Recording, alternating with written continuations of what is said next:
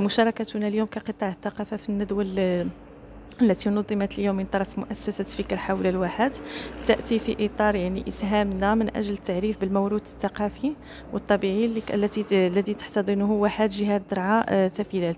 آه، مداخلتنا اليوم كانت آه، عبارة عن مجموعة من الأفكار من مجموعة من الأفكار مجموعة من المعطيات التي تهم الموروث الثقافي والحضاري المتواجد بجهة درعا تفيلات.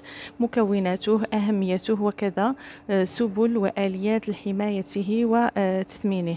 الفرصة كذلك كانت من آه، سانحة من أجل يعني تقاسم مجموعة من الخبرات مع الأساتذة والباحثين المشاركين من أجل يعني العمل جميعا في إطار مقاربة تشاركية آه، على آه، على جعل الواحات واحد بصفة عامة واحد دعا تفيلات بصفة خاصة واحد المنطقة منطقة جد وكذلك منطقة آه، مساهمة في التنمية المحلية الجهوية والوطنية. الحديث عن آه، مكونات التراث الثقافي بجهة درعا تفيلات يعني هو حديث غادي مطول لأن الموروث الثقافي لجهة درعا تفيلات يتميز بالغنى والتنوع.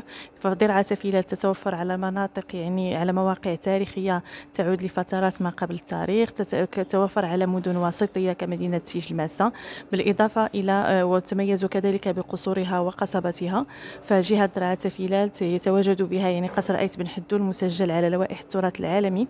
كذلك هذا من ناحية التراث المادي أما من ناحية التراث اللامادي فهي تكتنز يعني عناصر كثيرة آه كثير كثيرة تتمثل في العادات والتقاليد وكذلك المهارات مثلا المهارات المرتبطة بالخطارات المهارات المرتبطة بصناعة الزرابيل المهارات كذلك المرتبطة بالبناء الطيني.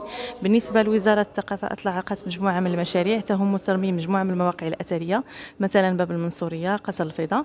بالإضافة كذلك إلى دراسة إمكانية يعني إنشاء واحد مركز تأويل التراث الخاص بسيج الماسة أما من ناحية يعني وكذلك العمل على تجهيز مواقع النقوش الصخرية بمراكز تأويل التراث. والمحافظات. أما من ناحية التراث اللامادي فقد عملت الوزارة مؤخرا على الاشتغال على مجموعة من المكونات التراثية اللامادية منها مثلا فن البلدي المهارات المرتبطة بصناعة الزربية الواوزكيطية وكذلك المهارات المرتبطة بالبناء الطيني هذه فقط يعني بعجالة.